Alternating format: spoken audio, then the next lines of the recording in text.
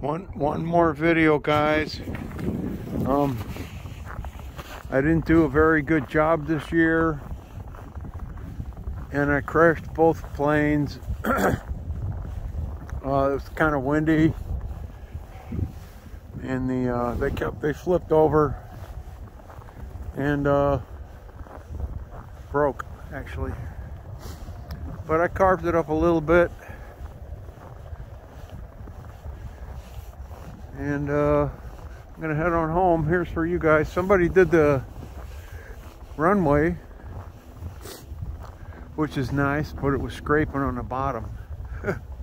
Not complaining. Okay.